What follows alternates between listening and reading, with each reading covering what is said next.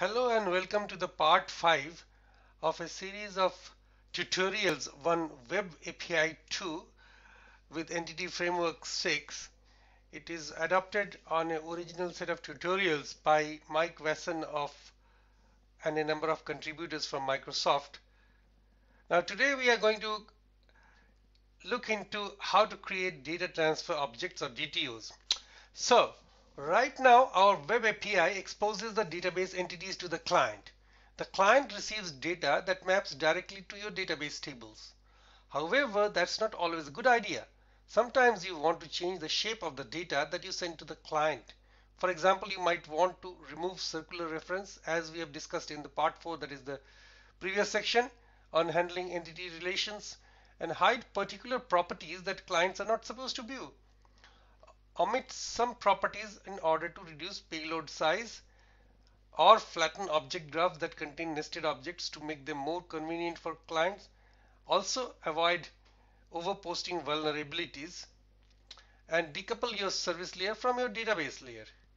To accomplish this, you can define a data transfer object or in short DTO. Is an object that defines how the data will be sent over the network. Let's see how that works with a book entity. In the models folder, we'll add two classes, two DTO classes. So right click on the models, click on add class and my class name will be book DTO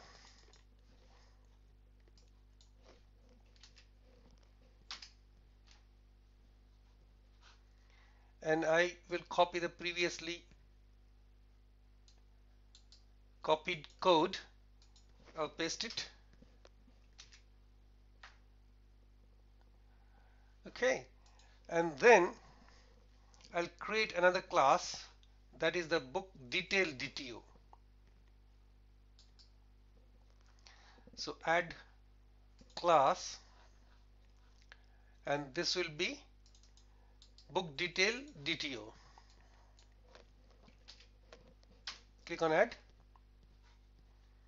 And again I'll paste the code that I have written to my clipboard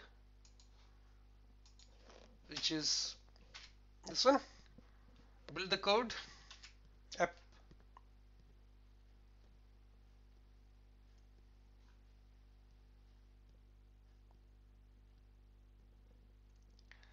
So it failed. I think there was closing braces.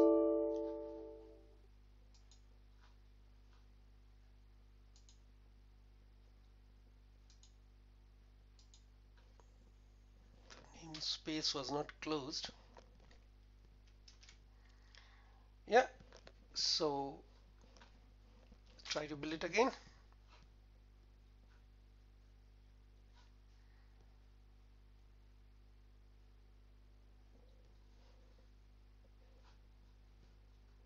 So it didn't build. Why it didn't build? Book DTO okay so I have not closed the namespace of the previous file. So this time it should build. Right build succeeded. Now book detail DTO so book detail DTO class includes all of the properties from the book model.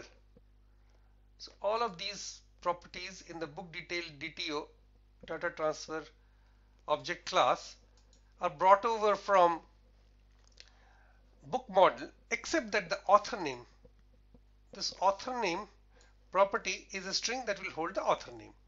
The book DTO class which is this one contains a subset of properties from the book detail DTO Next, replace the two get methods in the book controller class with versions that return DTOs. So we'll use the LINQ select statement to convert from book entities to DTOs. So open the book controller, books controller, and these two get methods that we have got on top get books and then get book with an identity so we'll just delete it and copy it over from the clipboard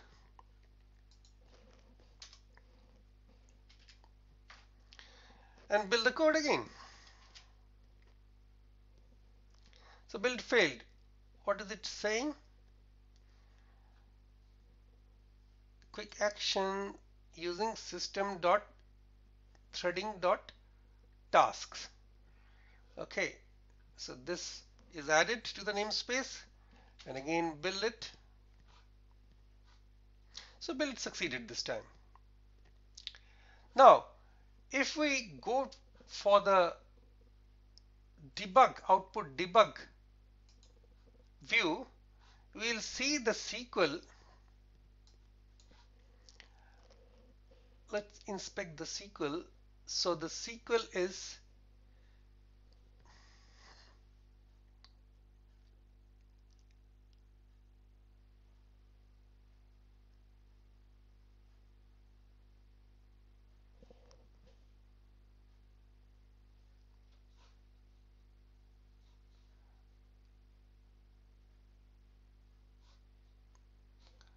Okay, so for that, again, we'll have to run the application and browse to API slash books.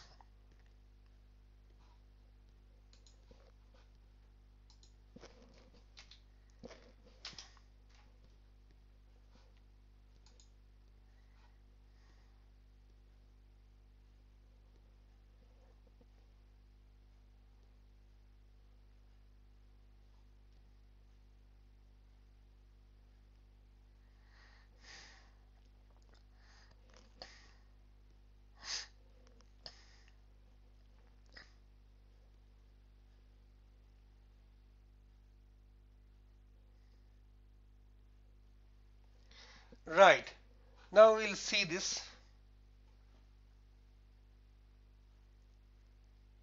So we see that inner join statement. This one.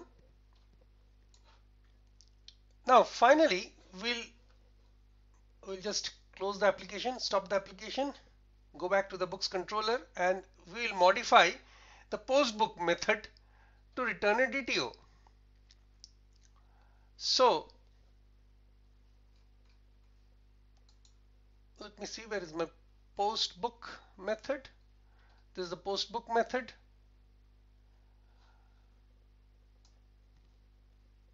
Just delete it and copy it over from my clipboard and paste it. Right? Again just build the application will succeed and that's it. Thank you for watching